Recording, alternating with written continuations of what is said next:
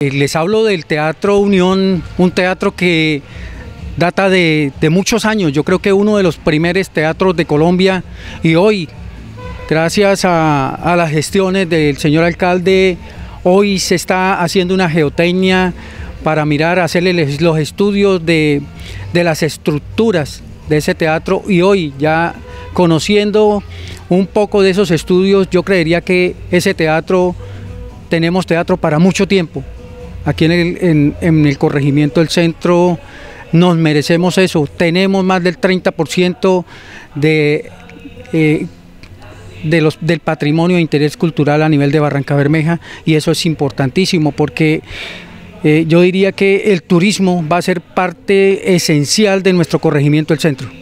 ¿Actualmente cómo se encuentra ese teatro? Actualmente ese teatro tiene más de 6, 7 años eh, cerrado, lo hemos tratado de mantener año a año, nosotros las comunidades hemos tratado de, tenerlo como, como una tacita, pero se necesita mucho más.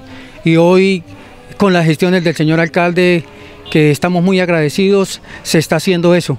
Y eso es importantísimo para el corregimiento del centro. Creería que el corregimiento del centro le ha dado mucho a Barranca Bermeja, Santander y a Colombia y se merece también que se pongan los ojos en ese corregimiento del centro.